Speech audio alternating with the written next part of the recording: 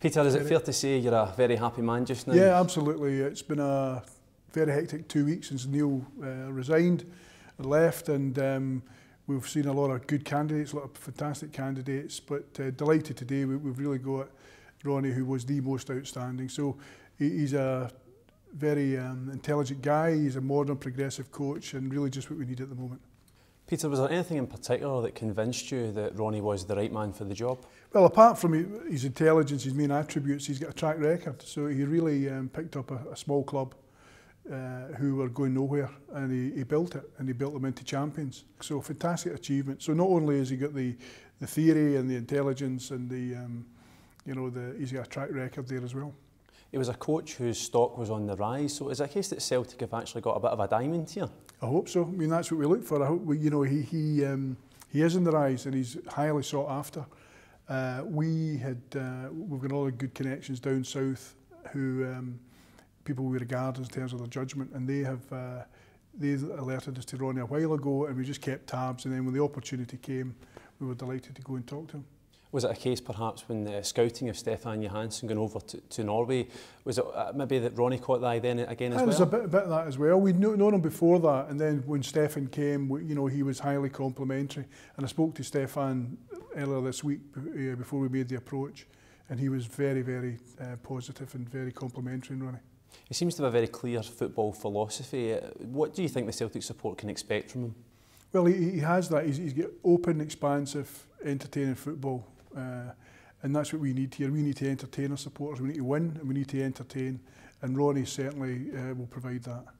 He won a lot of praise over in Norway for, for gelling together older players and younger players coming through. Again, that must be just another attribute that attracted them to, to Celtic, the yeah, Celtic job. that's right. You, you know, uh, we have to develop our own and we also have to bring players here that are, you know, the, the uncut diamonds, bring them here, shine them up and put them in the team and that's his skill set, no question. He's a great motivator also, so he has picked up more experienced players, as you say, blended them with the young and produced great teams. We're looking ahead to the UEFA Champions League qualifiers, a, a big test, but I think we can see from Ronnie, has that real enthusiasm and excitement for it. He has. I mean, that's to come to Celtic number one, you know, his motivation and his drive will be 100%. But then to get into the Champions League with the prospect of him managing in the group stage for the first time, will be a, a huge driver for them.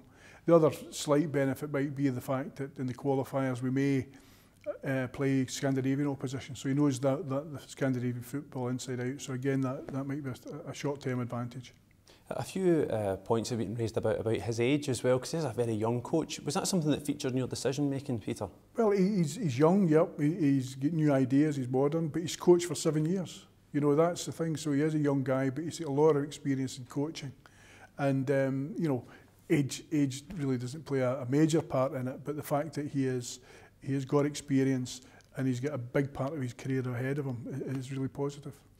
And I'd imagine you expect Ronnie to thrive in the sort of pressure that comes with being the Celtic manager. He, he will do. I mean, he's a, he's a very intelligent guy and he will learn and he'll learn quickly.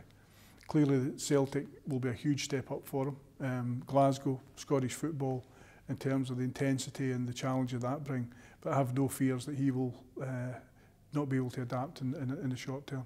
And what, of course, is encouraging as well for him is that he has some very stable foundations to build forward from.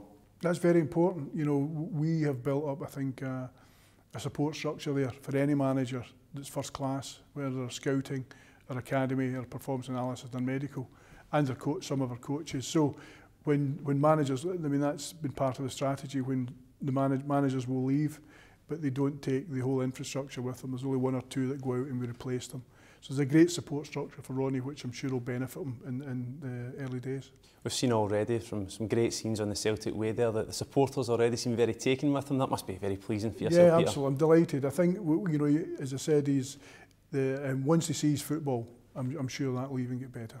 And he also mentioned to ourselves at Celtic TV that he felt that coming to Celtic was part of joining a family, which I think very fits, fits well with everyone at Celtic Absolutely. You mean it is a family here and that we all share the same values and, and culture and standards.